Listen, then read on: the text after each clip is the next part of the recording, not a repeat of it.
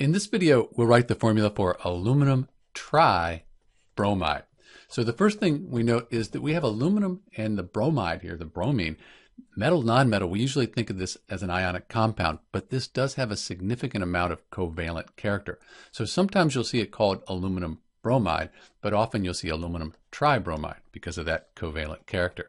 So to write the formula, we have aluminum, we write the element symbol Al, and then bromine from the bromide here, and the three, the tri, the tri tells us that we have three bromine atoms. And that makes the formula for aluminum tribromide, AlBr3. If you were given the formula here and asked to write the name for AlBr3, you could go with aluminum tribromide, or you could just say aluminum bromide as well. Both are accepted.